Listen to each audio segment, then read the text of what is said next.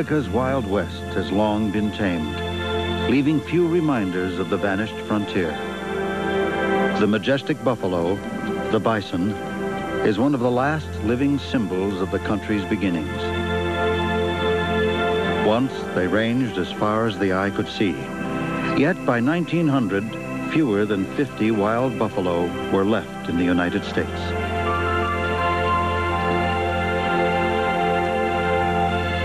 Are the descendants of that last surviving herd. They roam the same rugged wilderness as their forebears, Yellowstone National Park.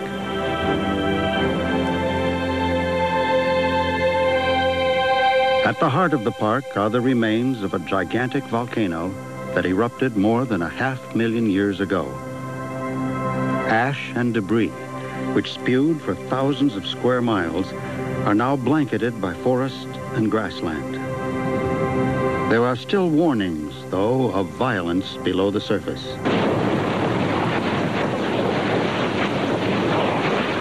Water superheated by molten rock underground can spout geysers hundreds of feet in the air.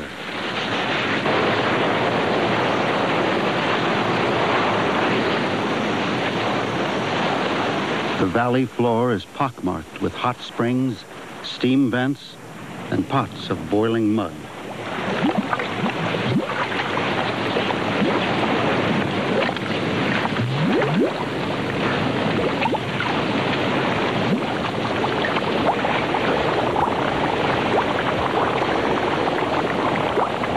Early settlers beholding this place for the first time were awestruck by its grandeur. The federal government was urged to protect the site. In 1872, it was declared a national park, the first in the country.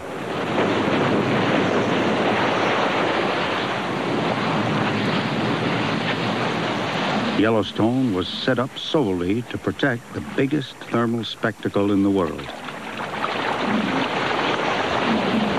No one knew then that it would become the last stretch of wilderness left to the American buffalo.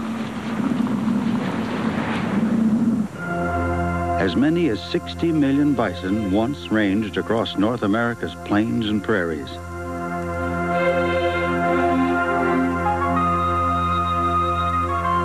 Perhaps no other continent, not even Africa, has produced large wild game in such numbers.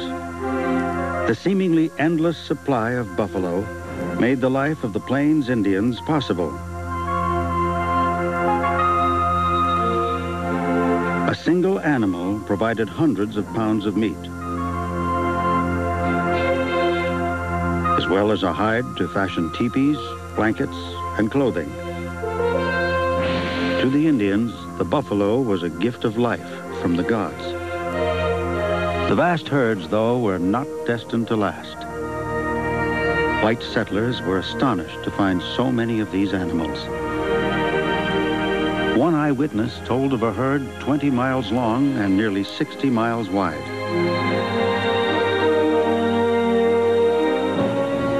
But hunters began to kill ruthlessly to meet a soaring demand for buffalo robes and pelts With the opening up of the railroad, cheap hunting excursions became possible for the first time.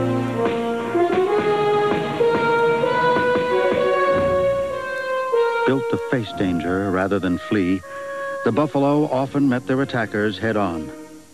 But it was an unequal battle.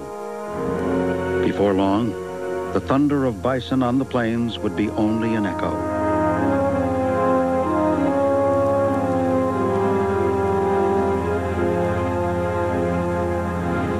Yellowstone was one of the last places a buffalo could find sanctuary, though poaching continued for years. The herd dwindled to only a few dozen before the slaughter finally stopped. The bison, though, is a survivor.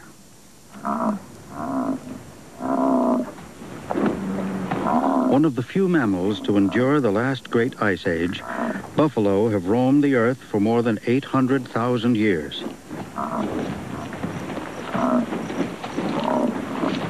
By bluff or battle, only the strongest bulls win the right to father the next generation. A powerful male easily intimidates weaker bulls. A mere glance might be all it takes to deter a challenger. Size and strength determine a winner, forcing losers off to the side. A top-ranking male has plenty of cows to choose from. Frustrated bulls may take out their aggression by wallowing in dust, which also helps rid them of annoying insects.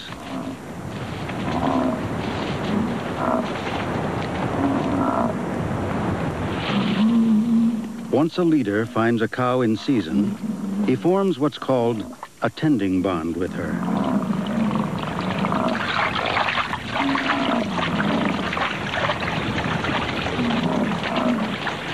Buffalo are highly social, and the bull escorts the cow everywhere, never straying more than a few feet from her side.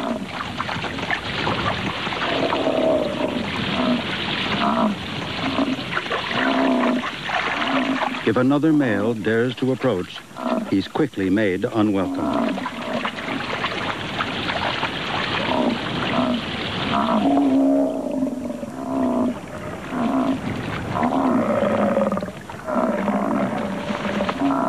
Some challengers, though, are more determined than others.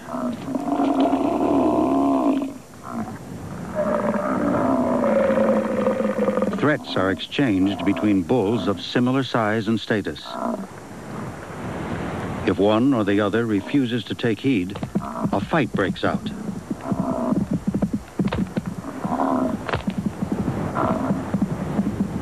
Each animal struggles to keep his opponent's horns away from his own flanks. Goring would mean sure defeat, if not death.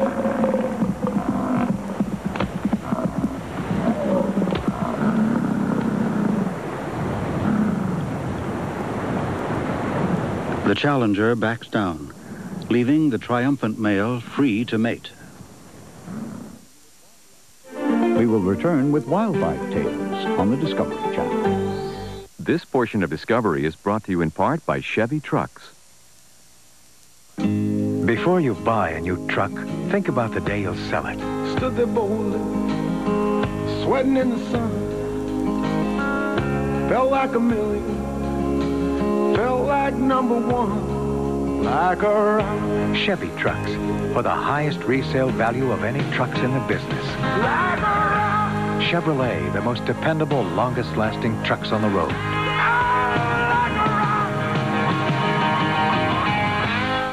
Denture wearers, here's Jane Powell for Polident. Worried about denture odor? You'll love new Mintier Double Action Polident. A new Mintier Double Action tablet that fights tough stains and controls denture odor. Try new Double Action Polident. Roaches. They keep coming back because they may be immune to your insecticides. That's why we developed new Combat Superbait insecticide. After years of research, we created a unique new formula. It contains hydramethylnon, a powerful active ingredient that even kills roaches immune to other insecticides. It's a major breakthrough in roach control. Here's how it works. Roaches enter the disc, eat the bait, and carry it back to their nest. Then behind the wall, they start a domino effect. It keeps on killing other roaches for three months. But we weren't satisfied with lab tests alone. We tested it in homes. Homes with tough roach problems. And proved no roach is immune. We're so sure it'll work for you, we guarantee it. Or we'll give you your money back. So look for the gold box, new Combat Superbait. We've made a science of killing your roaches. At a museum, the freedom to explore. It's ours to enjoy. Because out here, the proud men and women of our Navy are ensuring that freedom. To cherish today, to feel secure about tomorrow. Five. This Father's Day, bring down the house. First, he's a demolition daddy who built an empire on tearing it down. Step inside the Dynamite Dynasty. Then, singing and dancing, he's Father Goose to this feathered family. Meet the Crane Man of Kushiro. Tonight, beginning at 9 Eastern and Pacific, only on Discovery Sunday. We now return to Wildlife Tales on the Discovery Channel. In the fall, the bison's mating season comes to an end. The buffalo are at their fittest now, prepared for the lean times ahead. Some, however, will never have to suffer winter's onslaught. Coyotes are quick to take advantage of any casualties.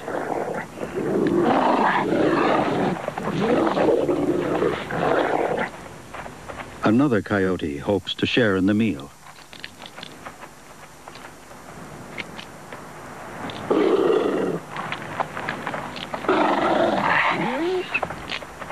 Its posture seems pleading, but is in fact a challenge.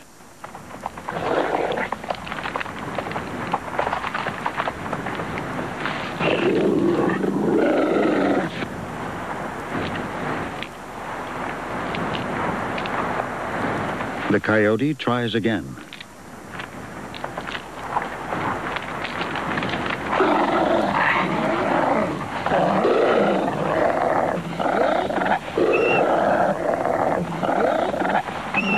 This time, it's more successful.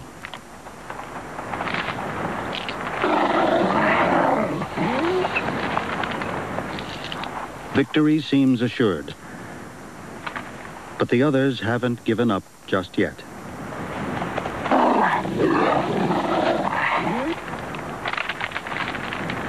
Within a few days, the carcass will be picked clean. Even bits of hide could mean the difference later between life and death. Yellowstone winters are as harsh today as they were for the first settlers. Temperatures can plunge to 50 below.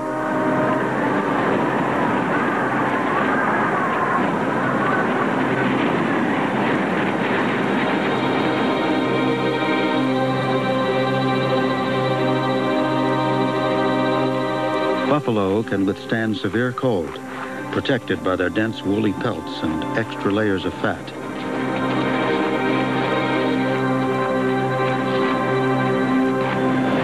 Finding food poses a greater problem than staying warm. The bison is equipped, however, with a sense of smell so keen it can target clumps of grass in heavy snow.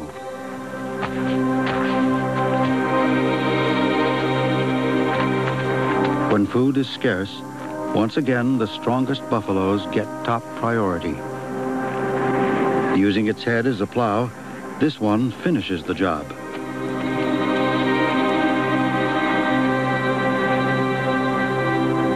Bison generally seek easier ground rather than waste precious energy digging.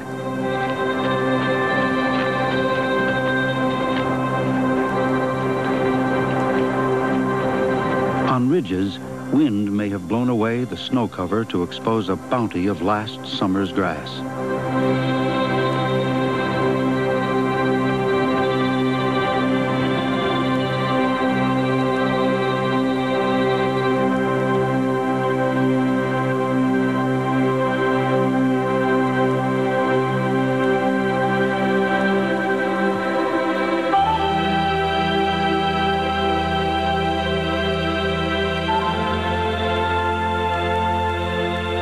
Heat beneath Yellowstone's surface offers more than a spectacle. Without it, these playful otters and many other animals would not survive a winter here.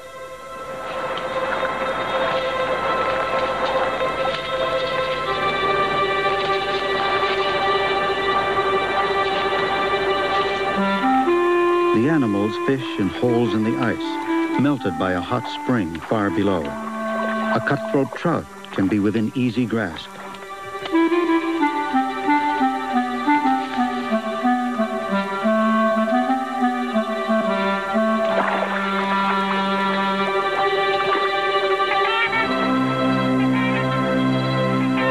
Graceful trumpeter swans winter in Yellowstone.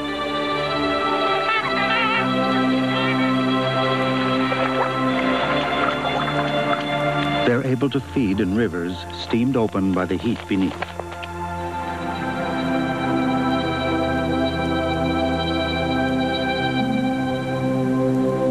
The buffalo conserve energy by warming themselves on the heated ground.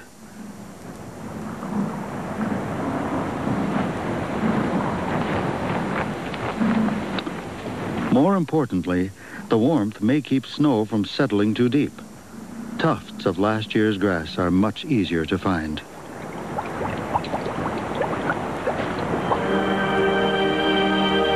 In winter, Yellowstone is a bleak and dangerous place. In its ceaseless wanderings in search of food, the bison often crosses lakes and rivers veiled by ice. In places, the frozen crust may be only a few inches thick. For this bull, the same heat that gave him warmth has now created a trap. With all his strength, the buffalo attempts to pull himself out, but the crevice is too deep. His only hope lies in breaking enough ice to reach water shallow enough to stand in.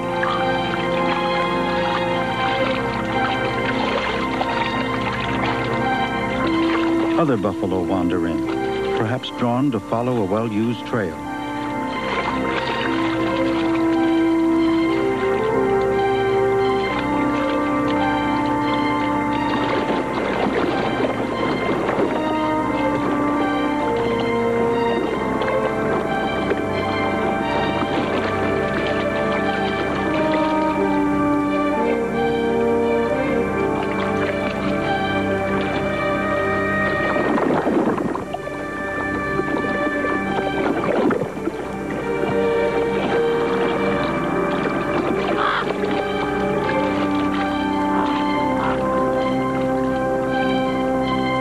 After six hours of struggle, cold and exhaustion take their toll.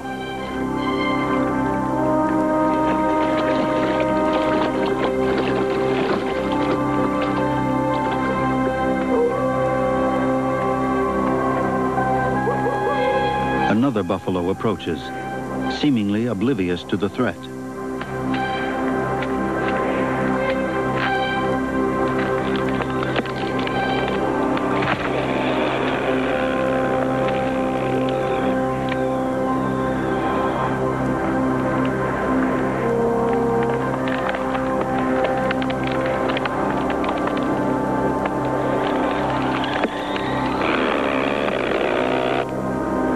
Wisely, it decides to proceed no further.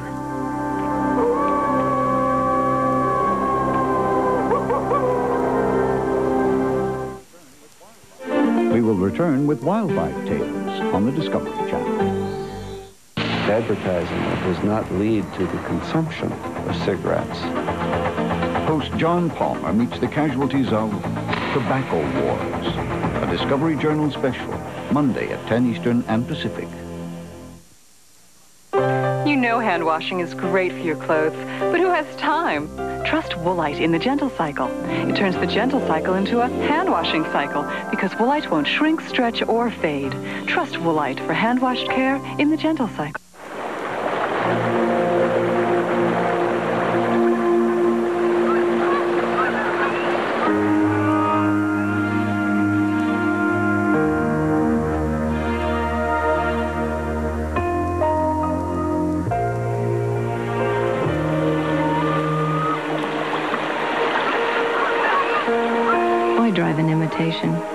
When you can drive the vehicle that originated the species? Chevy Blazer. The world is waiting outside. Inside, there's the good taste of Smuckers. Jams are naturally fat-free, under 20 calories per teaspoon. A good way to start your day. With a name like Smuckers, it has to be good. We dare you to watch Shark Week 93. Coming in July. Only on the Discovery Channel. Even Nissans need service once in a while, and when they do, stop by Miller Nissan. You want someone to listen. We take the time. You want your repairs done right the first time. We have a state-of-the-art service facility and master technicians. You don't want to pay too much. We're competitively priced. You want the part you need when you need it. We have a half million dollar inventory in our parts department.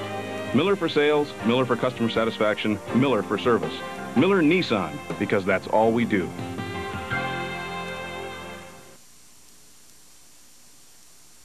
Your joints. Are you finding it harder and harder to make ends meet? Bill, your blood pressure's still too high. You need to lose some weight. You better get on track. Get on track with NordicTrack. Research shows NordicTrack burns more calories and fat than ordinary exercisers and helps control your cholesterol and blood pressure to keep your heart healthy.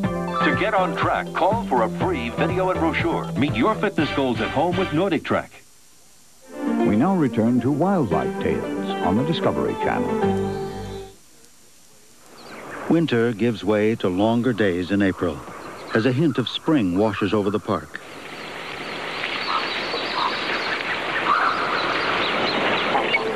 Golden-eyed drakes flutter with excitement as their breeding season approaches.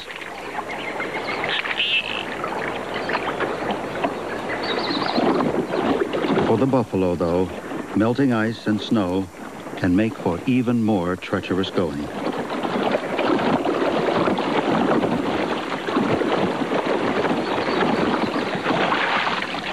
This bull is more fortunate than the other.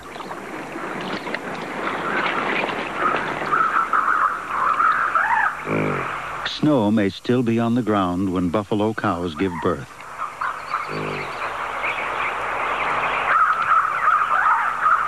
This mother bore twins, a rarity among bison. Her calves are no more than a week old.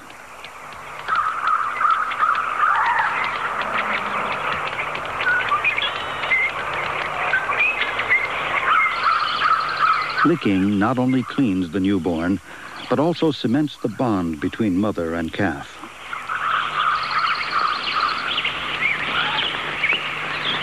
The twins hurry to investigate the new arrival.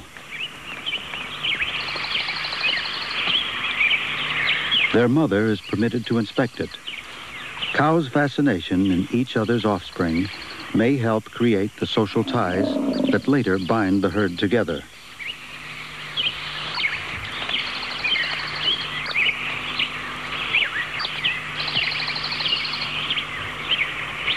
A coyote watches, but keeps its distance. Before they can stand on their own, young buffalo can be highly vulnerable. The cow must try to gently nudge her offspring to its feet. Coyote, though, rarely attack bison calves so long as the mother is around.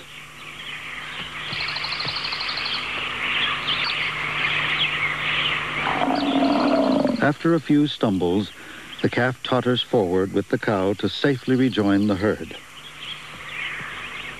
The coyote will have to look elsewhere for food.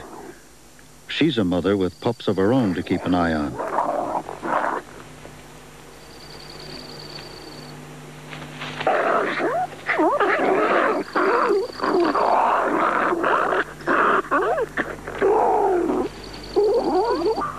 Her young safely back in the den, she can go off to hunt.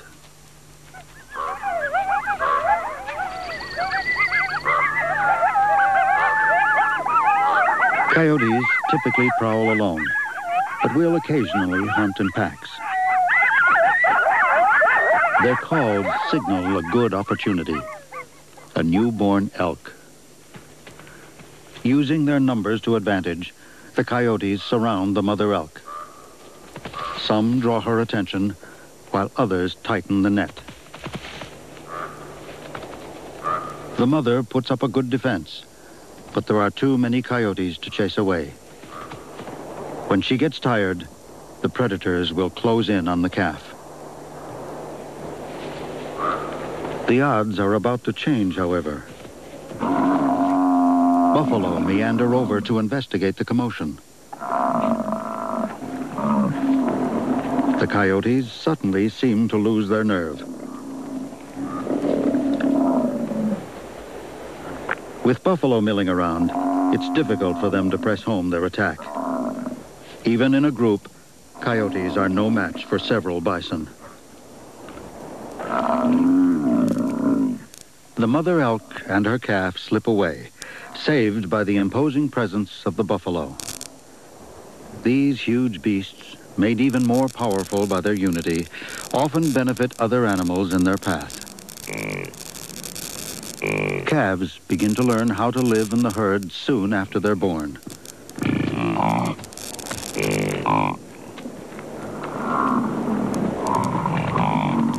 Play is more than just a pastime.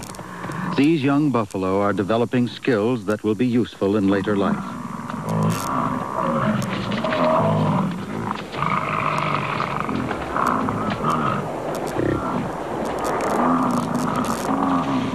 Fighting and headbutting take up a lot of their time and energy.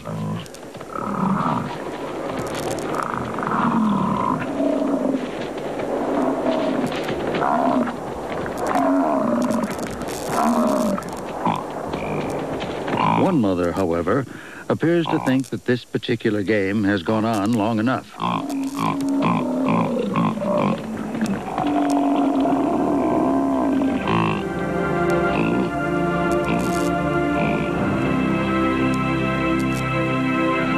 Gambling calves are a good sign that buffalo have not only survived in Yellowstone, they have prospered.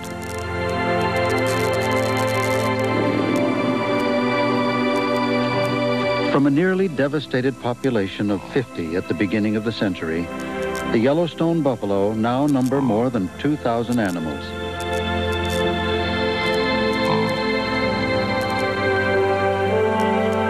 Against great odds, one of the last living symbols of America's frontier, the buffalo, has endured.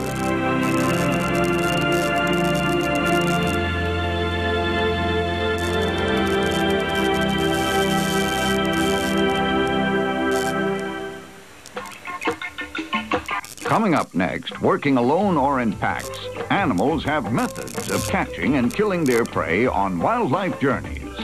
Then join us for Dynamite Dynasty and the Crane Men of Kushiro on Discovery Sunday.